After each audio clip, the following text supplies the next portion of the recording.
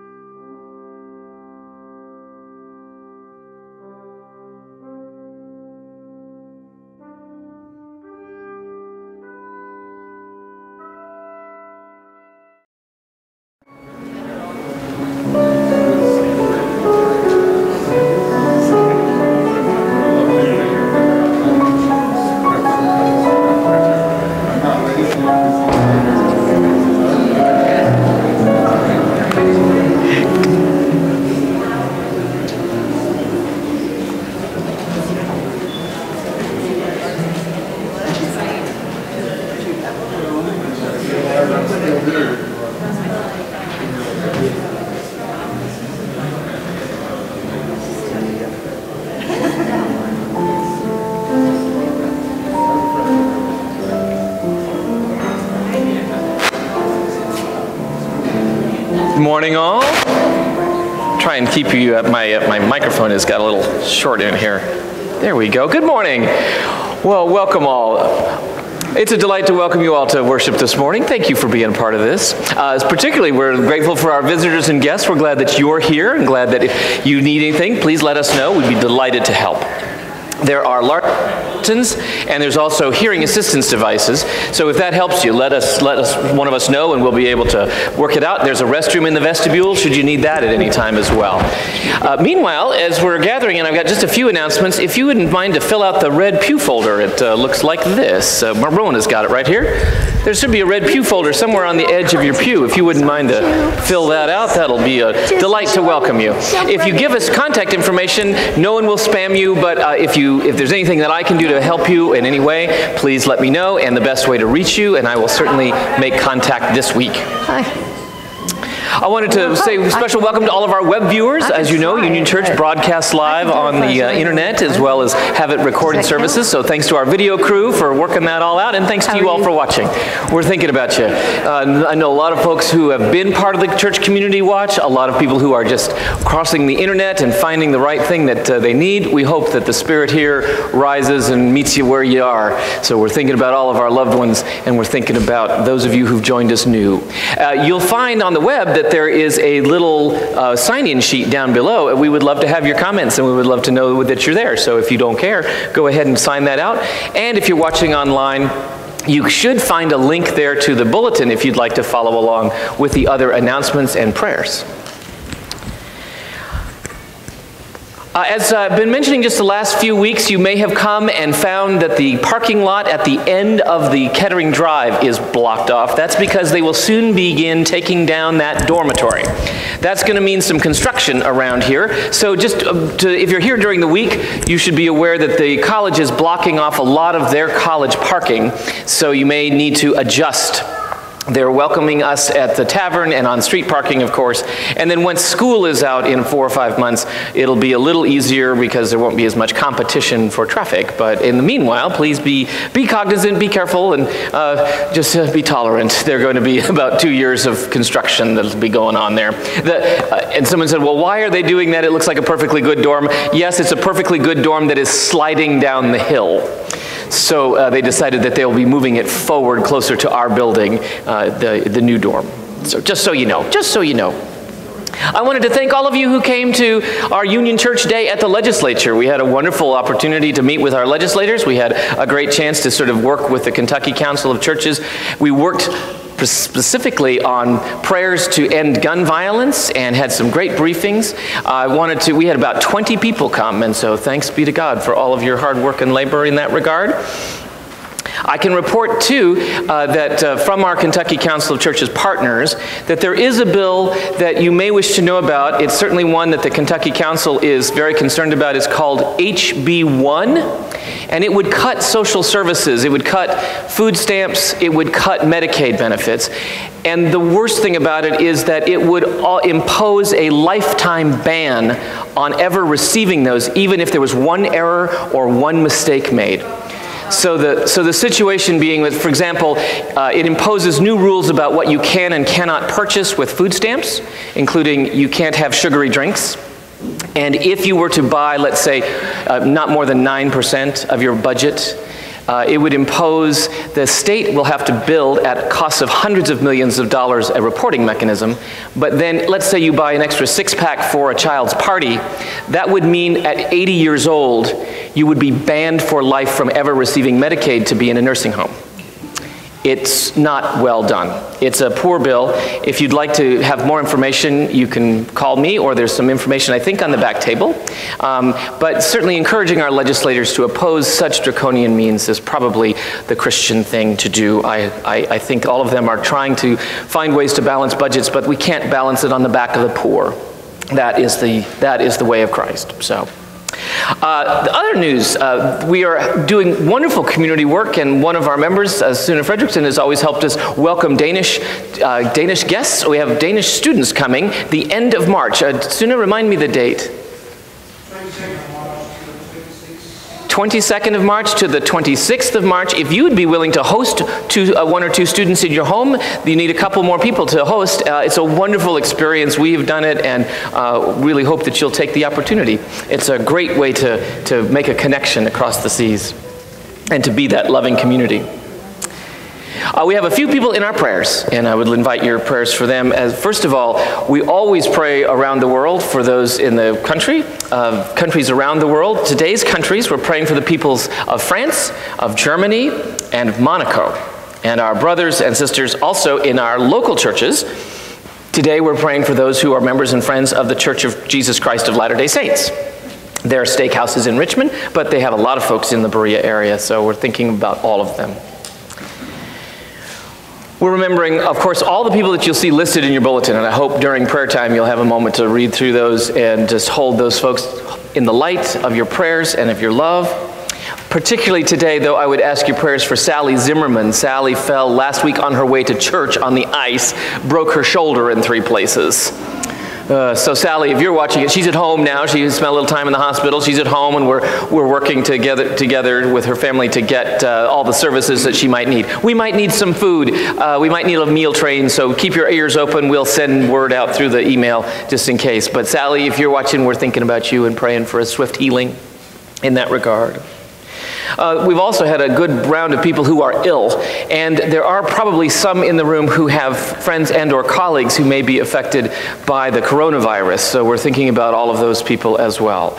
Uh, the best possible thing you can do for yourself and for others is to continue to wash your hands. Wash your hands, wash your hands. What? What would you like to do? Yes, you'd like to wash your hands. How lovely. Yes, that's a good idea. Yeah, you can really interrupt the disease cycle. It's the best possible thing. So, thanks to all of our public nurses, public health nurses who are helping us remember.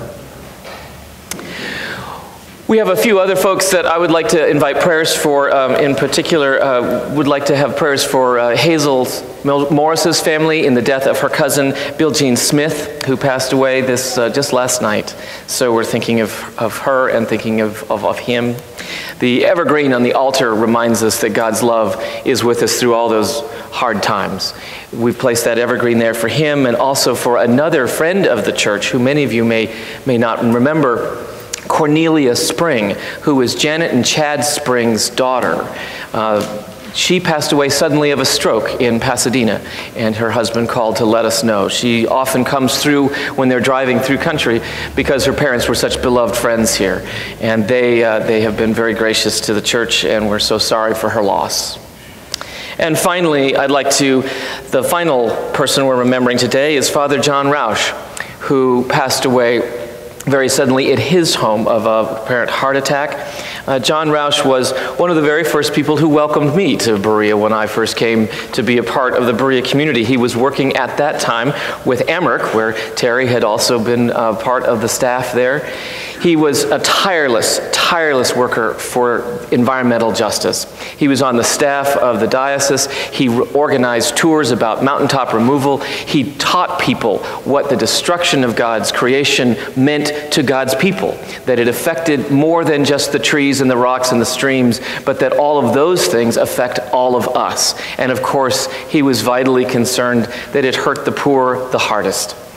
So we have lost a great light, but we walk in the light that he left us. And so I'd like this justice candle today for Father John Rausch, who is gone but not forgotten.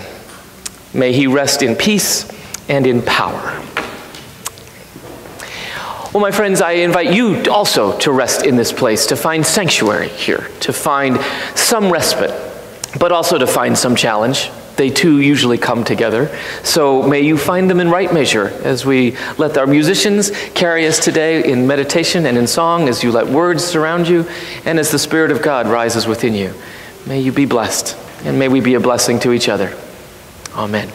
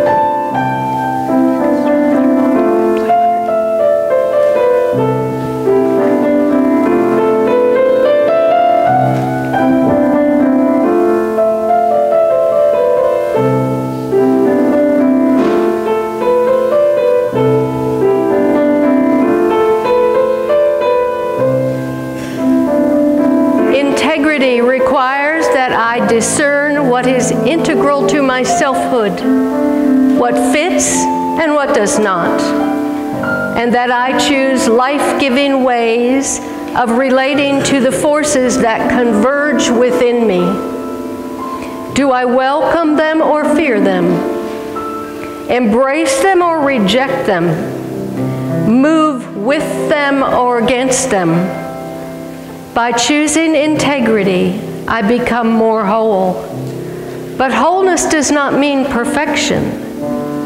It means becoming more real by acknowledging the whole of who I am.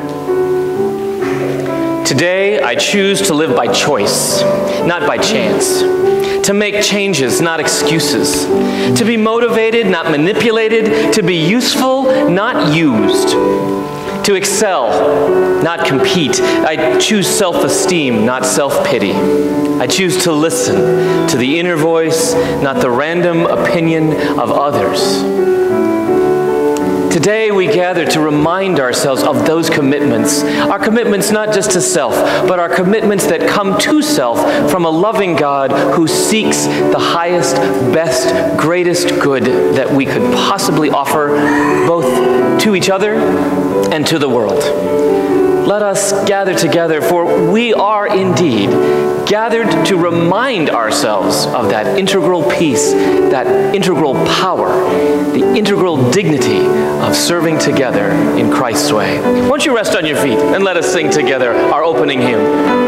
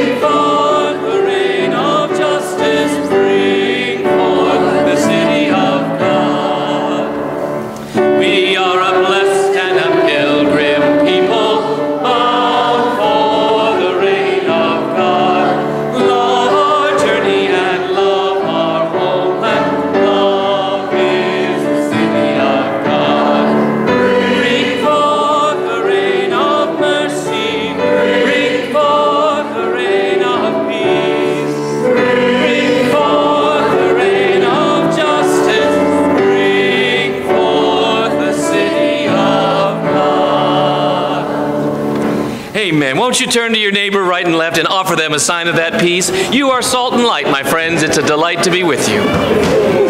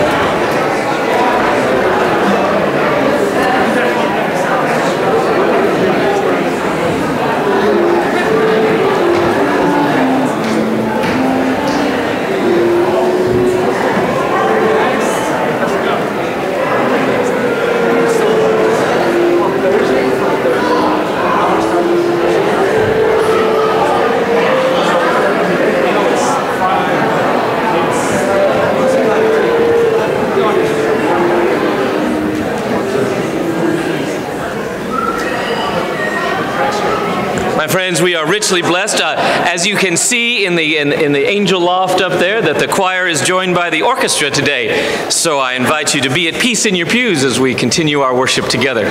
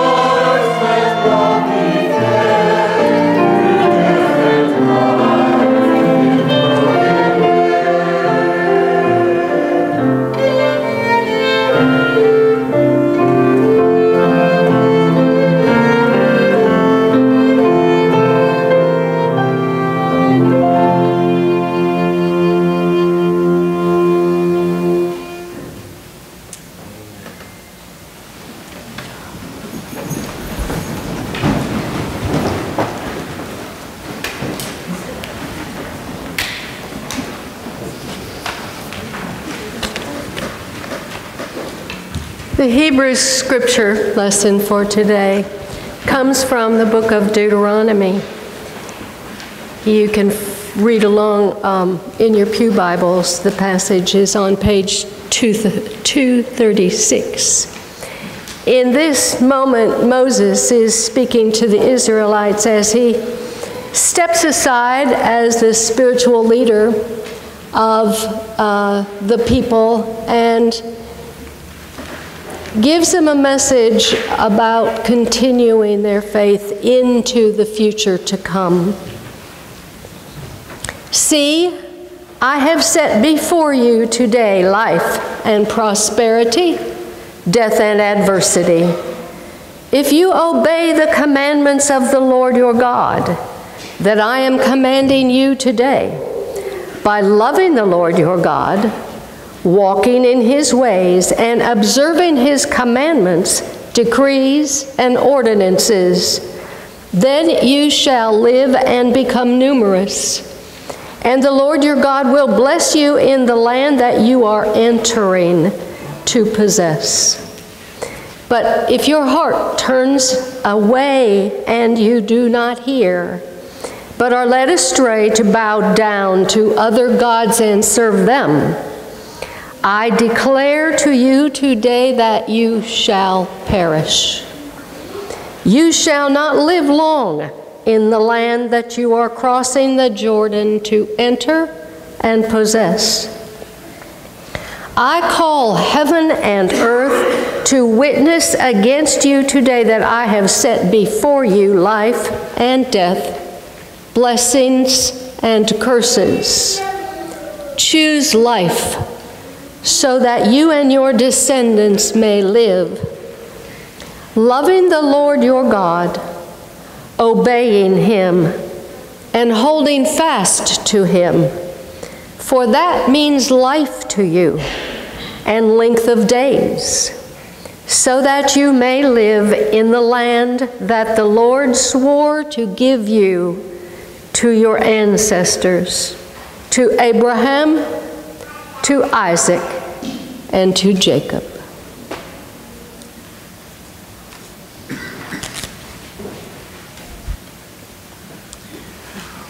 Those in the room who help us make good choices all the time, I would like to welcome you up here to the front. Come if you're young, come if you're young at heart, come join us up here and we'll talk a little bit about all sorts of good choices.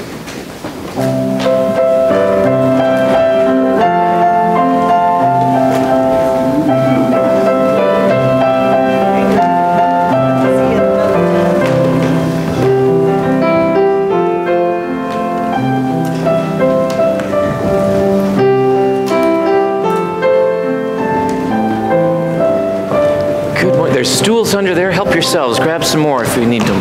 If we need them. Are you? You're sitting under the stool. You're not. You're okay. All right then. Well, it takes it takes many it takes many kinds. Hello. Well, thank you all for being here. You all. Uh, okay, let's see. If you had a choice between, let's say, um, broccoli stew or chocolate ice cream, what would you choose? Broccoli stew, obviously, right? Yeah, sure, sure, absolutely. Uh, who, who likes chocolate ice cream, right? And those who would choose the broccoli stew, we've got a couple. All right, very good. Okay, so let's think about um, if you could choose walking without a coat in a really, really, really, really rainy, horrible, cold day, or standing by the fire where it's warm and cozy petting your kitty cat. Who would choose the kitty cat? Walking really, really, really far in a really, really cold, rainy day. Rainy day, we got a few rainy day people. Excellent. Okay, very good. Yeah, you like rainy days? Okay, well, see, all right. You know, life is full of choices, but some of them are just not that easy, right? It might be really clear to you that you would definitely prefer the rain, or you would definitely prefer the broccoli, or you would definitely prefer the chocolate. But sometimes, children, I'm telling you, the choices are a little harder, right? Like, who would like to have the broccoli soup versus who would like to have the asparagus soup. Mm. Or it can be good too. It can be the other way. It can be like, would you rather spend the afternoon by the fire with a kitty, or would you rather spend it outdoor playing with the dog, right? And I like both, so it could be either one. Sometimes the choices, sometimes the choices are harder, aren't they? And I'm telling you, they get that way for your parents too. Sometimes they have good choices, and sometimes they're easy, like it's clear. You, you really? You like that best? You like onions, yeah, you take the stew, yeah. Well, exactly. But sometimes there are choices that we have to make that are good for one thing but not good for another, right? Like, okay, you might not like broccoli, but it's healthy for you. Exactly. That's exactly right. It's good for you. And you don't have to always, always, always have the broccoli, but you can't never have the broccoli. You got to have some broccoli. Into each life, some broccoli must fall. It's a good thing, or must grow, right? And, and it's wonderful if you like it, but even if you don't like it, you probably should have a little. You should probably have a little broccoli. Why is that? Yeah, you, you, it's healthy for you. You need the stuff that's in the broccoli to grow. You need vitamins, you need chlorophyll, you need green growing things, right? You need health stuff. You know what? That is exactly what, what God was telling the people in this story. You guys need health stuff. Listen, he says, I set before you the ways of broccoli and chocolate ice cream. Choose the broccoli. Choose the broccoli. Choose the stuff that gives you strength in the long run, right? Now you don't that doesn't mean you have to give up on the on the ice cream, but you probably can't make 3 meals a day out of it. Because if you do, you will be sick. You will be sick, sick, sick. You will not be well. You will not feel good. It will be not good for you, right? What, uh, what the Israelites got told, this was right before they got to enter into the promised land, was hey, you guys, make good choices. Make good choices. What's a good choice? What, what do you think God was telling the people to make a good choice about? Not broccoli, obviously. What? Being kind. Being kind, exactly. What else do you think God was, would say? You,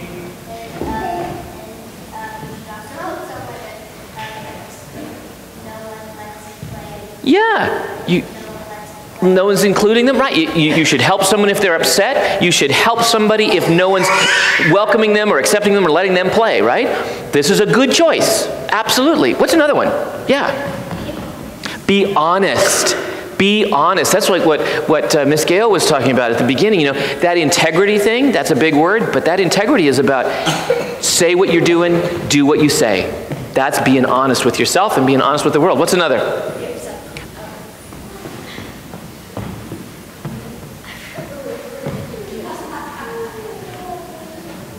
Go ahead. Be upset? No, not upset. Accepting, be accepting. Yes, be accepting. That's perfect. That's right. Be accepting. Yeah, that's a good choice. What about you? What's that? Listen to your parents. That's a really good choice, right? Almost all the time. Almost all the time. Yeah, no, no, it's a very good time. Right, right, exactly. Right. You got to help your parents make good choices too, right? You've got to help your parents make good choices. Yes. And help others. And oh, see you guys, this is exactly what I'm talking about. And while you know exactly what you, how that looks like right now, just keep looking for it as you get older right? Just keep looking for the ways to make honest, loving, accepting, loving, good choices right? Because sometimes it's going to matter, like it might be the health of your family. It might be that somebody needs something that feels a little uncomfortable at first, but it's for the health of everybody. Or it could be the health of the school, right? So sometimes we make those choices. Think, use your brain. God gave you a good brain. Use your brain, use your good heart. God gave you a good heart. Put them together. Always make sure that, and then make good choices. What God says is choose the thing that is best Choose the stuff that is loving. Choose that which is, which is helpful and kind. All of that. You guys are so smart. Thank you. See, you're already helping us make good choices. Don't you think so? Yeah. All right then. Well, what should we pray for today? What's on your hearts and minds? What do we need to include? Yes, ma'am. Yeah?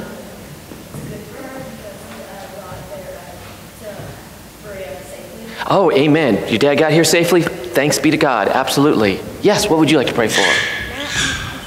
Ah, you'd like to pray for a little more ice cream. No, oh, no, no ice cream. Okay, all right, good. All right, for the right kinds of good food. All right. For your dead great grandfather, we will remember him today. Yeah, absolutely. Yes, ma'am. Sick people and sick pets, both, because they both are in our hearts. Yeah, what would you like?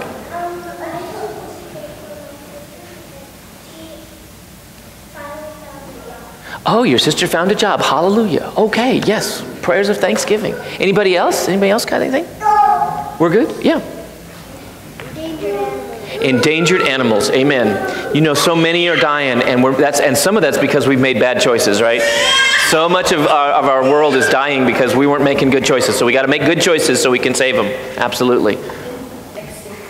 Absolutely. And those who've already gone, let, amen.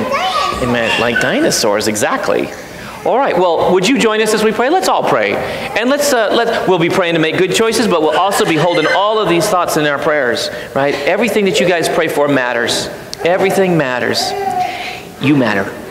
You do. Let us pray. Oh Lord, thank you for all the good choices that have supported us and made us healthy from others. Now help us make good choices. Help these guys make good choices now and every day. All their lives, Lord. Help them choose what makes them strong and healthy and wise and happy. Help them choose what helps others be wise and strong too. Lord, we please look after our family members, both the ones we care about here and the ones who have gone on to be with you. Be present with all of our animals and pets and friends and all the critters of this world who are endangered. Lord, please look after everybody who needs a little kindness, who needs a little acceptance. Lord, we ask you to bless and keep us all, that we might enter into a new future, a promised land where nobody hurts and nobody's sad and nobody has to wonder if they'll have enough. We help us get there by the choices we make, Lord.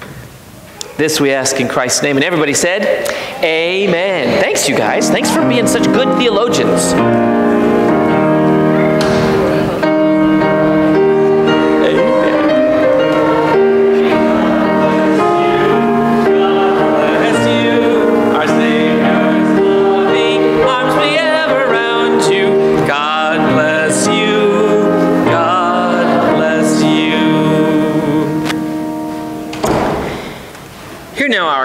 Reading. Our gospel reading today comes from the Gospel of Matthew. I encourage you to put your crash helmet on and buckle up.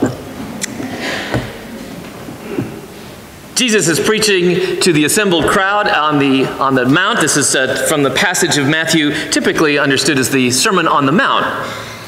Here, herein is our words. Jesus says to the crowds, You have heard it said to those of ancient times, You shall not murder and whoever murders shall be liable to judgment. But I say to you that if you are even angry with a brother or sister, you will be liable to judgment.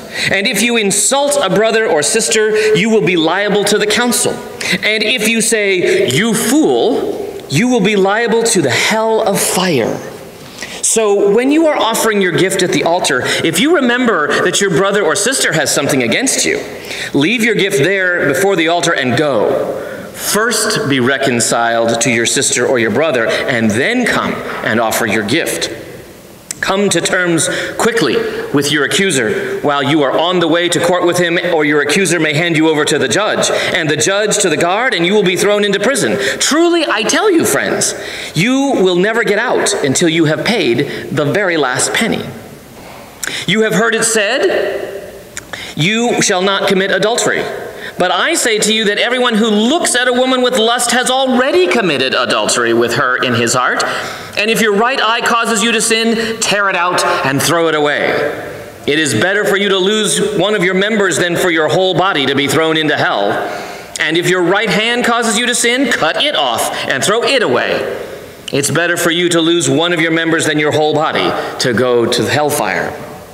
It was also said, Jesus told them, Whoever divorces his wife, let him give her a certificate of divorce. But I say to you that anyone who divorces his wife, except on the grounds of unchastity, causes her to commit adultery, and whoever marries a divorced woman commits adultery. And again, you have heard it said, that it was said of those ancient times, You shall not swear falsely, but carry out the vows you have made to the Lord. But I say to you, do not swear at all, either by heaven or by earth do not swear at all by heaven, for it's the throne of God, or by the earth, for it is the footstool, or by Jerusalem, for it is the city of the great king. And do not swear by your head, for you cannot make one hair on it white or black.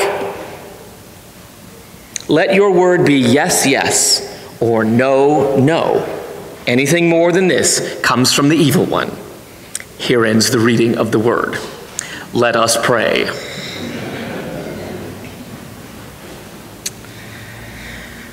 Holy One, about these words, help us make wise and good choices. Help us choose the life that is contained therein.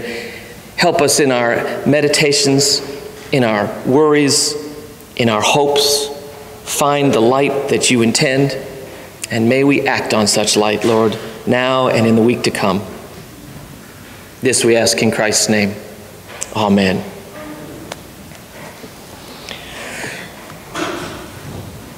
I want to start off by saying that I'm a divorced person. I want to start off by saying that I have been angry with my brother a lot, a lot.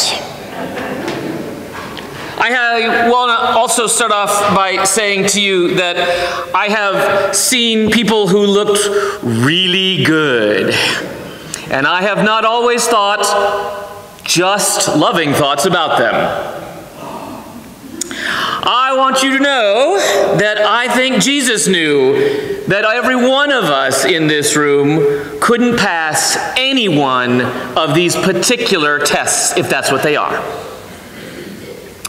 I'm not certain that they were meant to be tests. I'm not certain that they were meant to be this idea of how you should account for the righteousness of others as much as it was encouragement to each of us to choose the higher righteousness for each of us.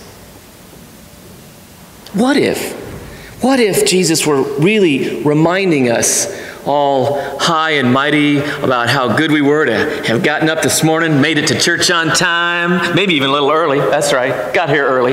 Yeah, I did, because uh, cause I love the Lord. Yeah, and I'm feeling good about that. I'm feeling good about how I have. Uh, I've also I've also put some money in the plate, and I'm and I. Uh, there was a, a person on the street who was clearly not doing as well as me, and I smiled at him. I did. That's right.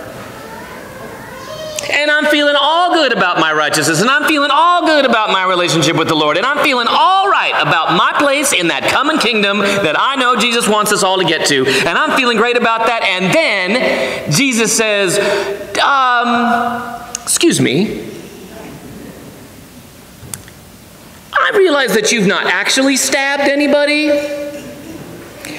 But I feel like until you can get to the point where you are not gonna want to stab somebody, that maybe you are not yet arrived.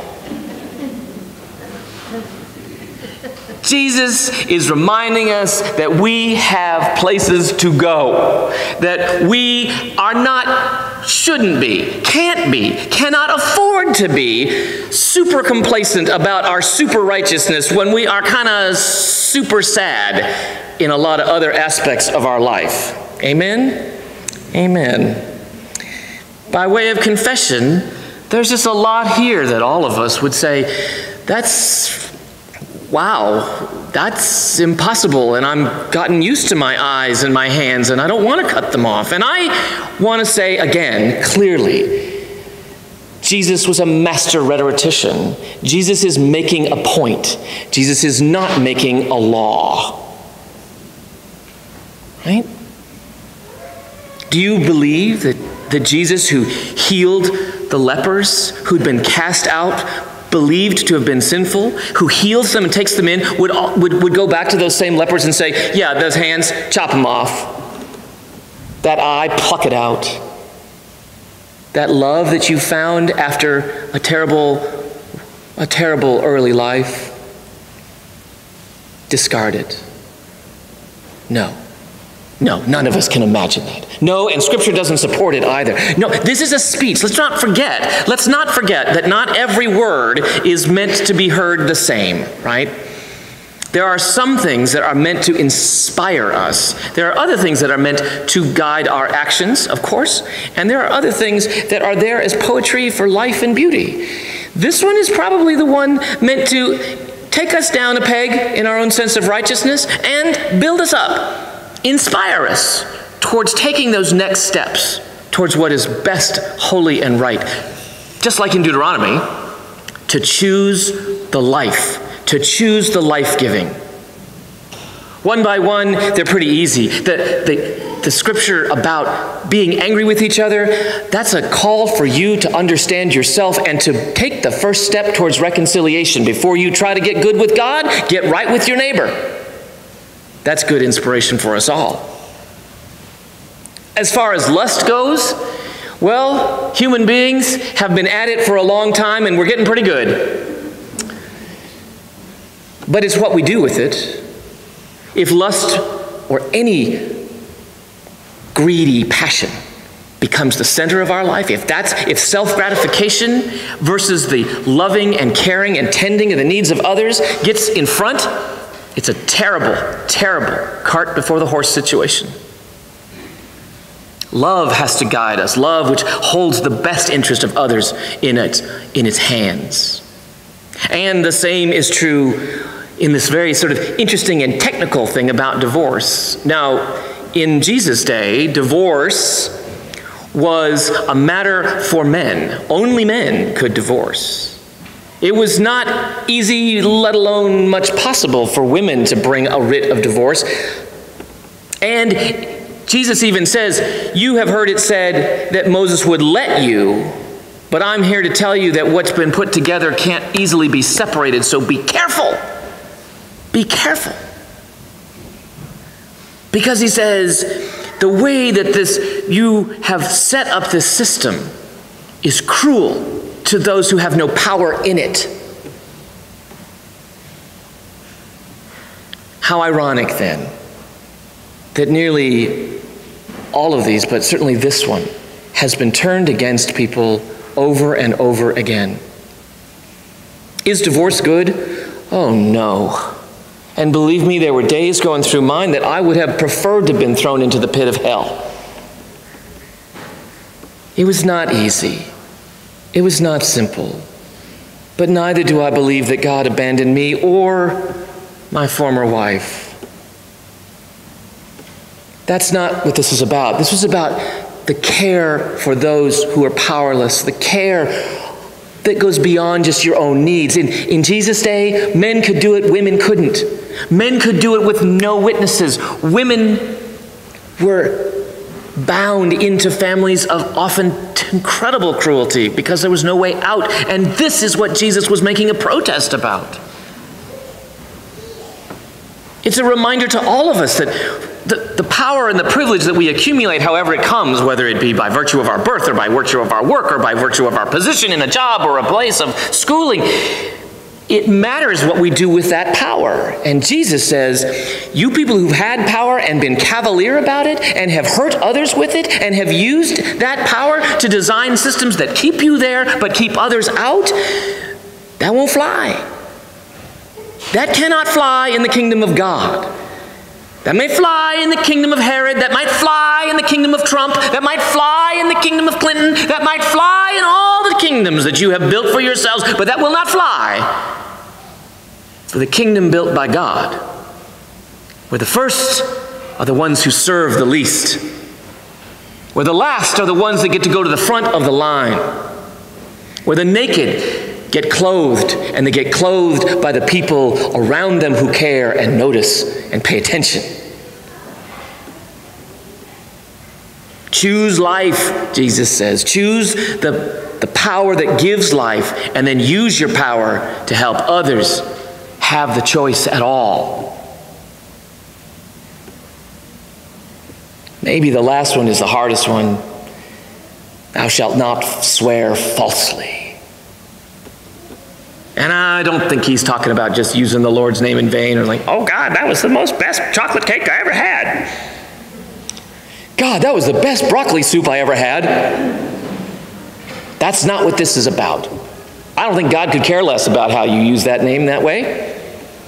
But when you say that you want to live in the path of Jesus, when you make baptismal vows or you renew them or you step up and you say, I'm a Christian and I want to put that word into the world, but then you step over your neighbor or your brother, you have sworn falsely.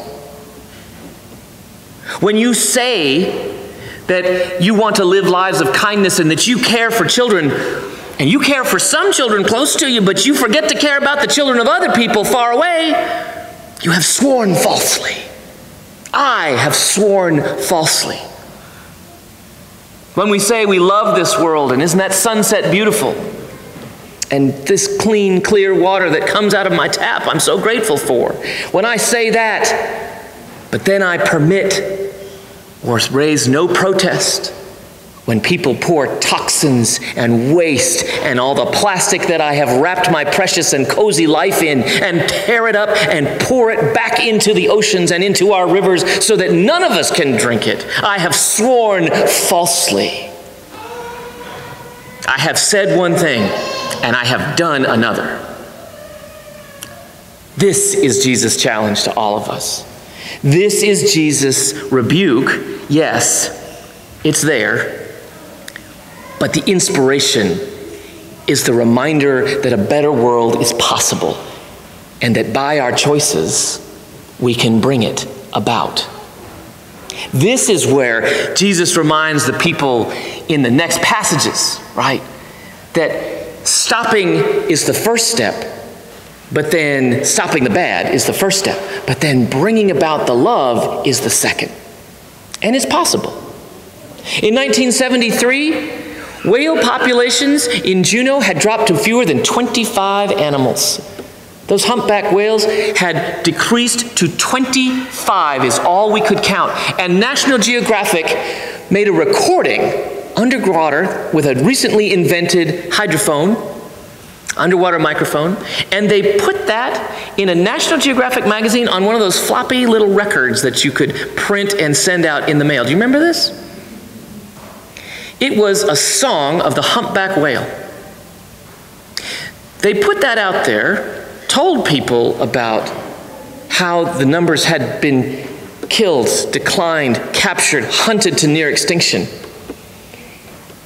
That single floppy vinyl record galvanized millions of school children who made a choice who made a choice for life, and millions of their teachers who encouraged them and they wrote letters and they called Congress, and then millions of their parents joined. And they started thinking and they started acting, and that, that act resulted in the Marine Mammal Protection Act that has seen whale populations rebound 10, 50, 60, in some cases a hundredfold.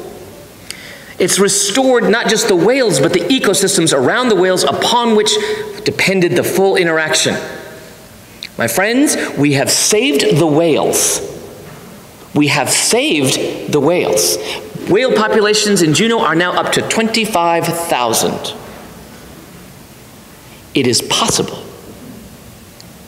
Our choices can bring life we have stopped the ozone hole until just recently by choices that we made.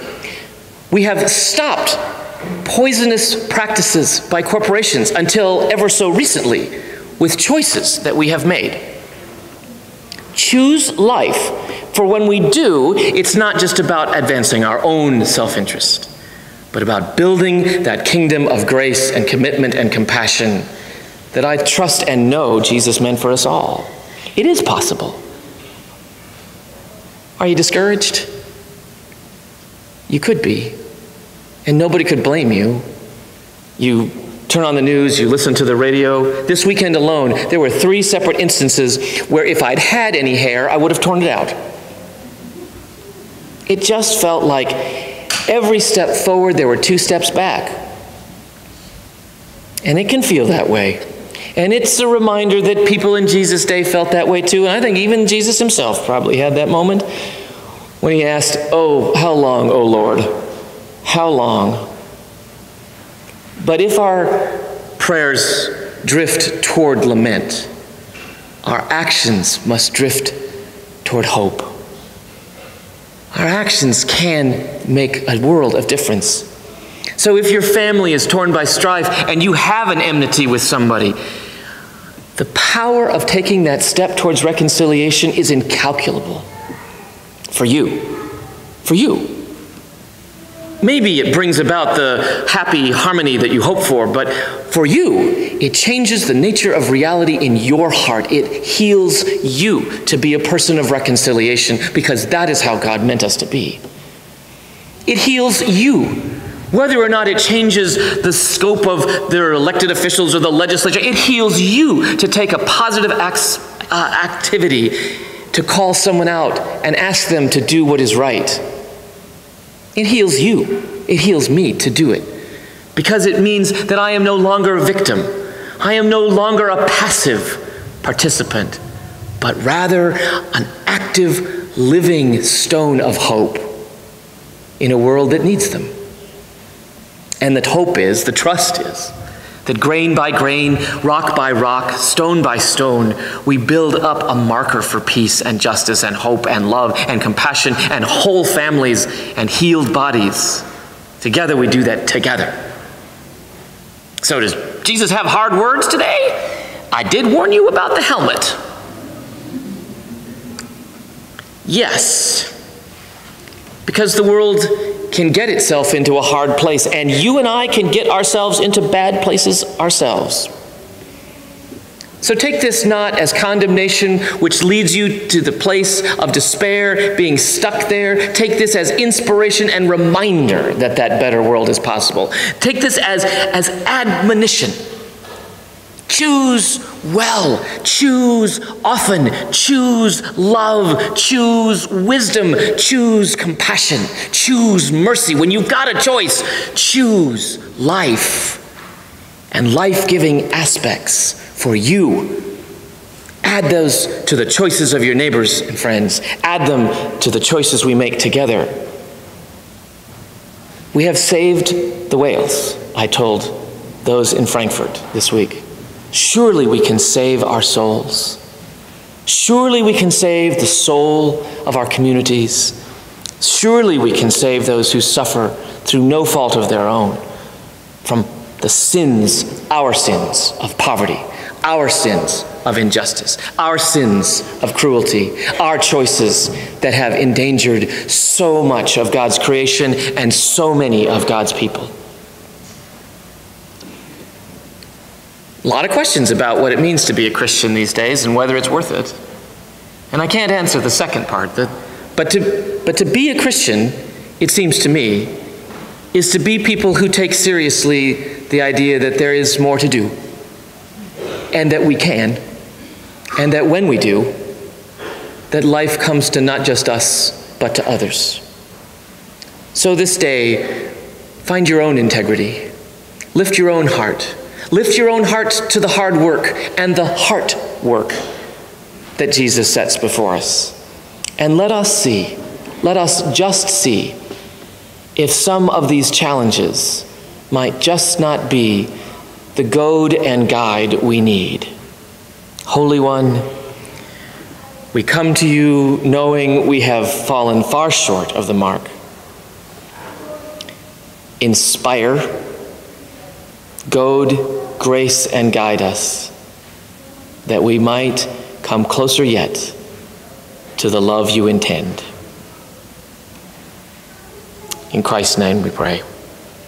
Amen. Today, as we enjoy our prayers and as we enter a time when we can be more active with them, I invite you to be at prayer and to think about how is it that you need to live? What, if any, changes do you need to make? We also have a chance to inspire our own generosity, all of which makes a difference in this world and around the church life and the community life and indeed the world through the benevolences that you make possible. And over here, a reminder and a lament. The stones pile up and they fall down, and we put them back again. You're invited to take a stone and put it up there. And if it rolls down, put another one up there. Let's raise slowly this honoring honorific, this monument to what we hope. In the back on the service and action table, you'll see ways that you can engage the world. There's some information about some ways we might be compassionate outside the building in terms of bills or in terms of food that we might offer and bless. And there's hearts back there. It being a Valentine's Day uh, weekend, I invite you to take a heart from one of the tables to remind yourself of your pledge to yourself, your pledge to God. Let us be at peace. As Gail rings the peace bell, let us fall silent together in the presence of God, knowing that we're always there. But give yourself the gift of attending to it in this moment. Let us pray. Let us pray.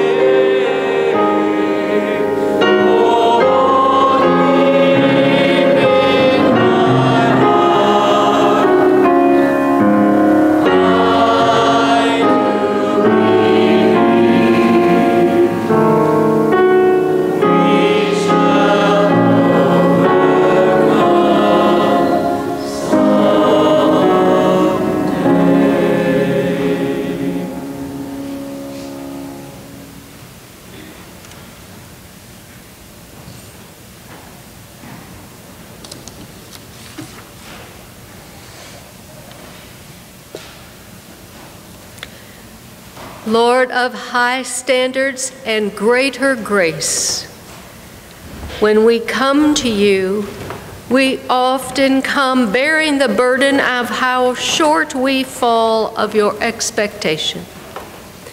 So this we ask, and this we pray. Keep us inspired to be better. Keep us strengthened to try again. And remind us that your love is not punishment, but promise the promise of a better world and a better way. When we are hurt and hurting others, heal our hearts and turn us again toward the light.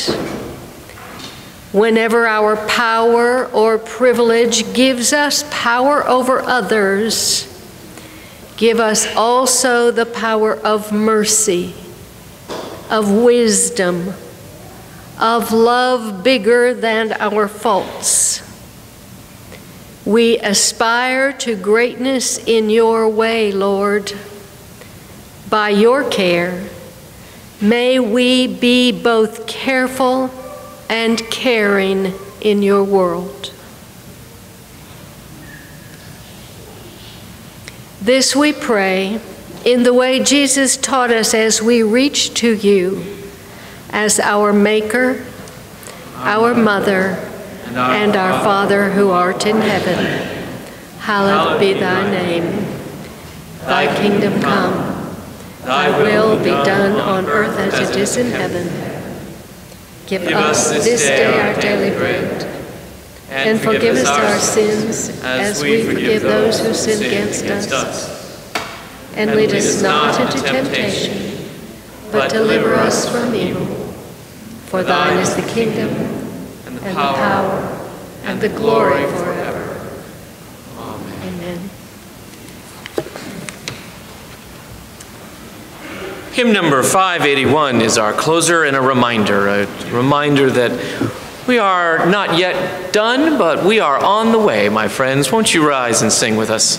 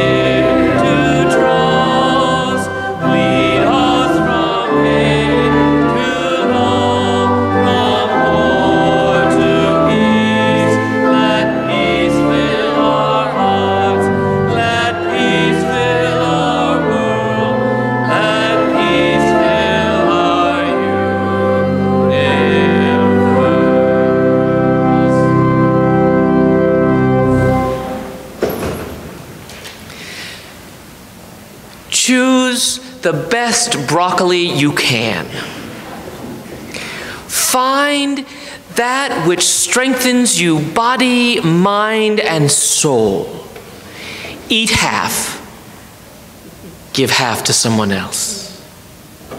And may the God who chooses you, who chooses peace, who chooses life, who chooses mercy, who chooses grace, who chooses love for you, guide you and grace you, care for you, mark your steps, lift your heart, that together we may enter in to the promised future intended for all.